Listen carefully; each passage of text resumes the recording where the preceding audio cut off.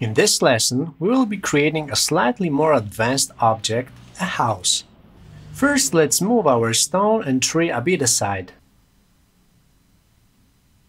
Deactivate the ambient occlusion because our scene started to be a bit slow. So open the gear popover, go to the Scene tab and deactivate the ambient occlusion. Now editing the scene will be much faster. Select all the objects and let's move them aside. We will focus on the house now. As usual, create a box and let's scale it in the x-axis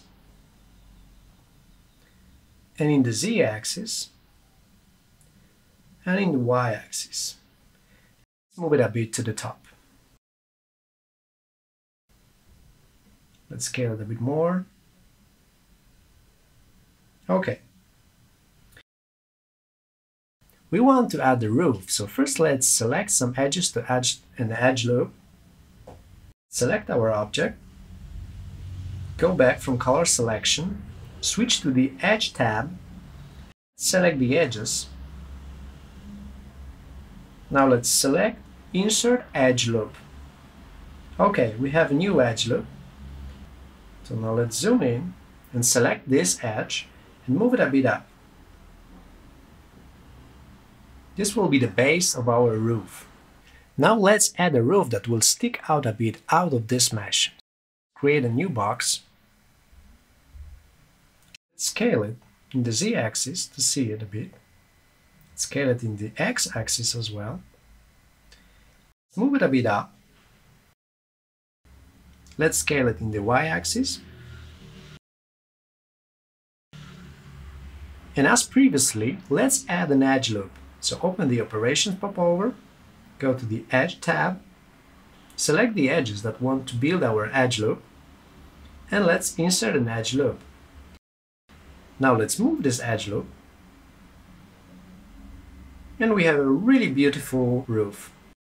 It's time to add doors and windows to our home. So let's first create the door frame. Add a new box Let's move it to the front of the house. Let's scale it a bit.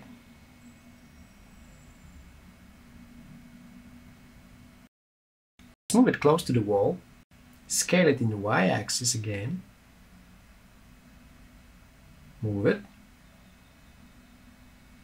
And let's center our camera to it. So open the selection popover and select center camera to selection. Now we'll be able to focus on it a bit more add a new edge loop that we will extrude. So let's go to the Edge tab, close the popover, select the edges, insert an edge loop, move this edge loop a bit to the top, go to the Poly tab, zoom in a bit, deselect everything and select the new polygon, and let's select Extrude. Move this frame a bit, zoom out, now insert a new edge loop.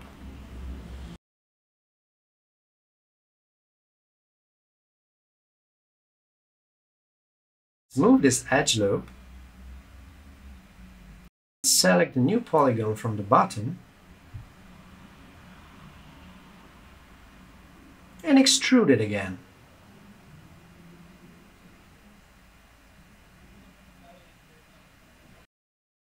That way we build a frame for our doors.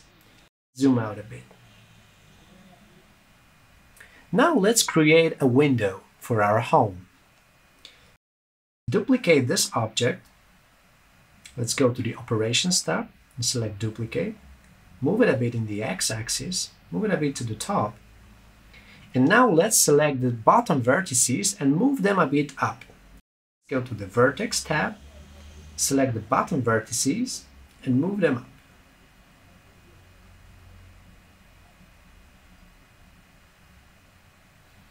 Let's now insert new edge loops. So let's select the Edge tab,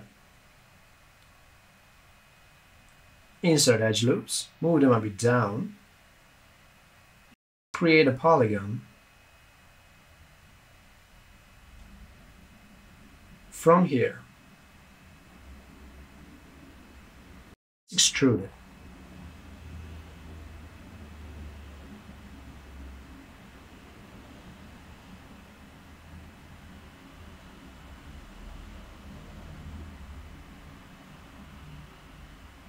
we have our window.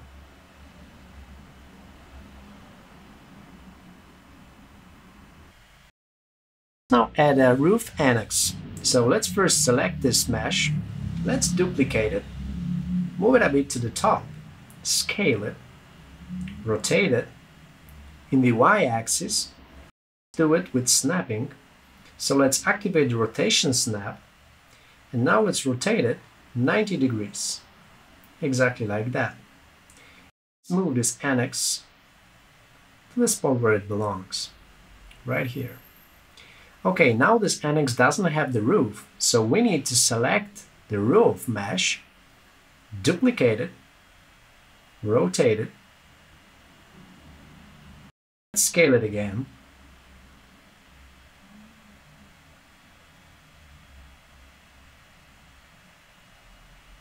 and position it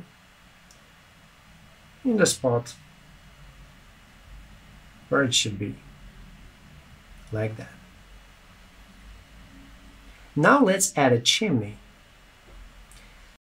create a box move it up move it to the right scale it a bit in all axes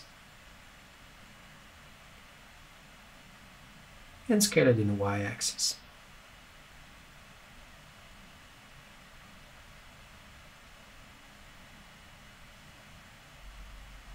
Now let's add another window. So duplicate the existing one, move it here, and rotate it 90 degrees.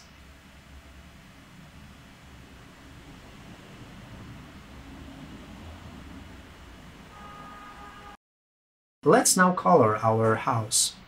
First, let's select two roofs that we built. First roof, and add the second to the selection. Let's select the color of the material. Let's make it red.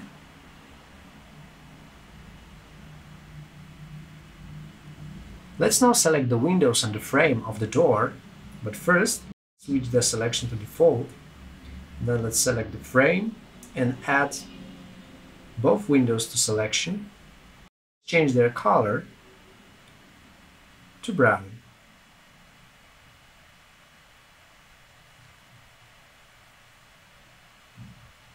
deselect everything and let's change the color of the chimney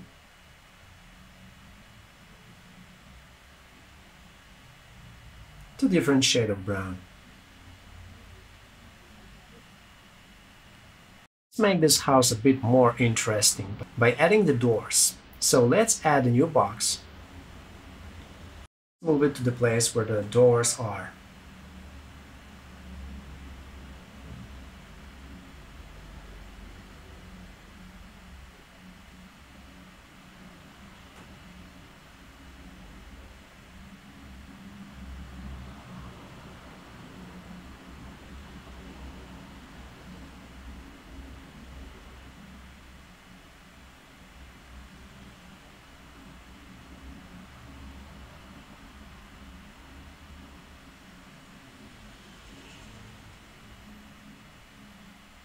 Let's do the same for the windows.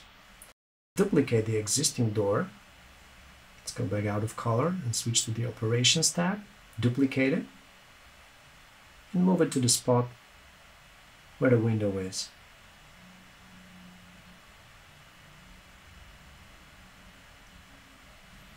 Duplicate it again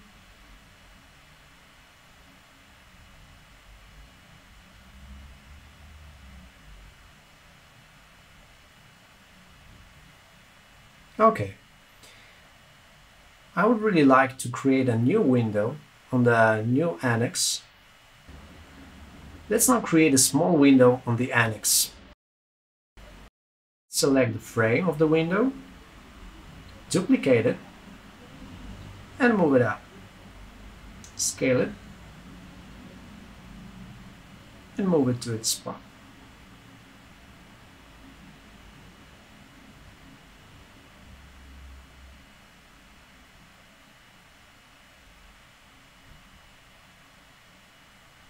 Select the window object and duplicate it as well. And position it in the spot where it should be.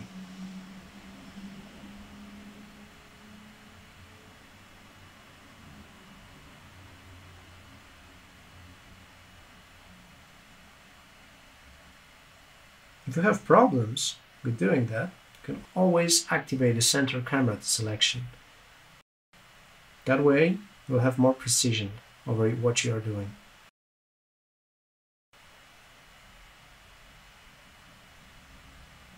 As we can see, this roof has a problem. So let's scale it a bit in one axis and move it to its proper place, like that. Let's now use the objects we already had, which is our tree, and move it to a nice position. Somewhere there. And the stones. Something else gets selected, you can always deselect it by opening the selection popover and tapping subtract selection and tapping the objects you want to subtract. And let's now move those stones to our scene.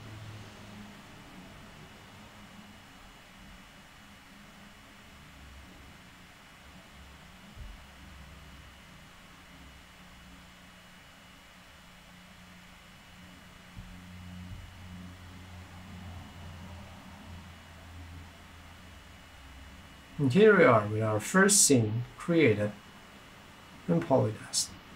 Let's now activate the ambient occlusion.